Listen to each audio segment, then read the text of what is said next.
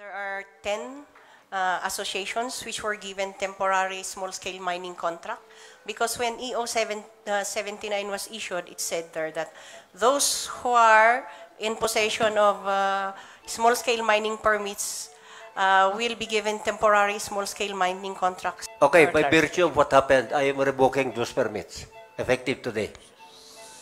Yung mga small scale, uh, wala hong legal dito. Paano illegal? Walang legal dito. Dagiti na small scale miners ka na kita.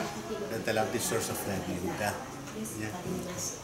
Kaya sa pagmata ti gobyerno at mga at alternatives para mab- mabiyag na dagiti na mga small scale miners ka na gito eh. So, makipagpakaas kami nga dige ada ko ma iti government anda ko nga isira nga uh, ultimo ti pagminasan kita andala ang ko selective nga pagminasan ta adamot a pagminasan mi ta talaga kaduan dito awan adal na nga talaga. Agdipdipindar kami iti mining. Tano gardening.